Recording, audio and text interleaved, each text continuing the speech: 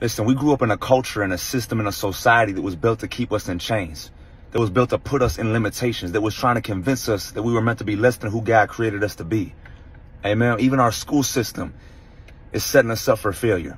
Don't get me wrong, education is important. We absolutely need education, but you need education in the right things. And our school systems are not educating our people and our children in the right things. Our, our school systems are set up like prisons. They're set up for you to either go to jail or for you to work a nine to five job. They don't want you doing anything else. Listen, God is asking, where are my Jehus at? Where are my Elijahs at that are willing to break those generational curses and break those demonic systems? Who are willing to break and disrupt the system in a way that brings light and revelation to the world, disrupt the system and transform the system into being people that raise our children up to be the next Malcolm X's, the next Martin Luther Kings, the next Billy Grahams. Amen to be kings and rulers among nations. Check this out. I want to read to y'all 2 Kings chapter 2, verses 20 through 22. We're talking about Elijah. Bring me a new bowl, he said, and put salt in it. So they brought it to him. Then he went out to the spring and threw the salt into it, saying, This is what the Lord says, I have healed this water. Never again will it cause death or make the land unproductive. And the water has remained pure to this day according to the word Elijah had spoken. Listen. So basically there was a curse over that city.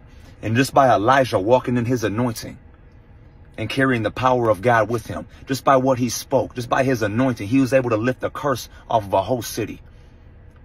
God is saying, where's my next Jehu? Where's my next Elijah at? That's willing to walk in divine purpose, really to be create, uh, courageous and bold and unapologetically walk in divine purpose.